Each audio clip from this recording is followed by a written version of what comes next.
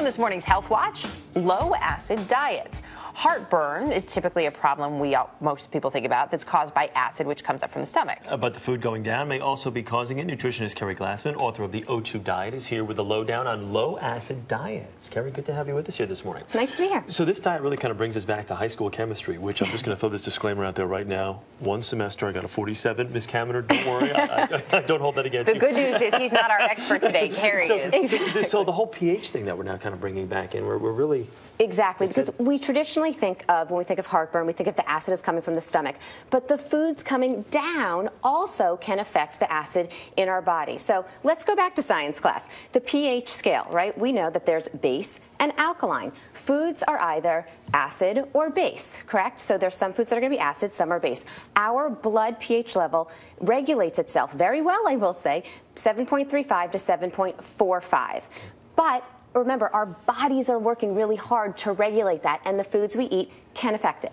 So, this low acid diet is an option. What exactly is a low, low acid diet? Is it as simple as it sounds? Well, basically, a low acid diet is really going to be a healthy diet. Okay. It's going to be loaded with vegetables, healthy fats, some fruit, and some healthy things like legumes and lentils. And see, we have avocado here, and we have olive oil. And something like a broccoli, for example, is going to be 6.2 on that pH scale. But one thing I want to point out is we don't need to worry about those numbers. We just, when we're eating things like vegetables and we're taking things out like processed foods and sugar, we're naturally going going to be eating a low acid diet. Advocates suggest about 75% of, uh, to 80, 75 to 80% of your foods should be base and then about 20 to 25% acid.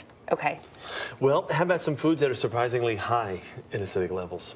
Well, foods, just think about maybe watching a football game, the foods you might see sitting there.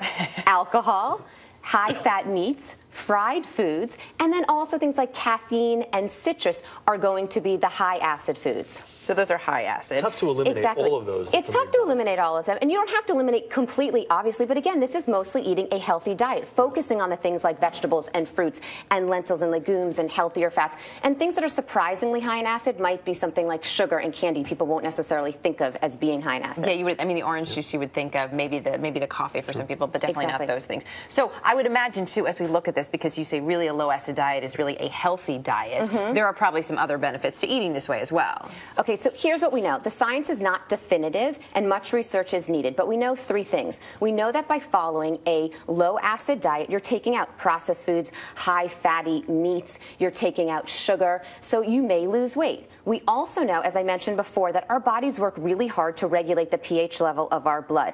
But in order to do that, we may, if you're eating a lot of acidic foods, you may draw upon your bones bones and grab calcium from the bones to maintain that regulation. And research has linked a low acid diet to better bone health. And as I mentioned at the beginning, research also links a low acid diet to relieving symptoms of heartburn. Got it. So would you recommend people just basically if you're, not, if you're, not, a big fan of a low acid diet, maybe just kind of sample with a couple of things and see if you can incorporate it? Well, you don't need to worry about the numbers, is really what I would say. Yeah. It's a healthy diet for everyone vegetables and fruit, and like I said, legumes and lentils and healthy fats, and getting rid of all the junk, the processed foods, the high fatty fried foods, and the sugar. We all right. should be eating this way. Don't get caught up in the numbers. All right, Keri Glassman, thank you very much. I really thought this was going to be more of a chemistry lesson. I'm happy. Are you happy that it oh, wasn't? I didn't want to scare you. Big, I wanted to start your morning off. Brought me back to high school, not, not very good, as I mentioned. Thanks, Thanks much.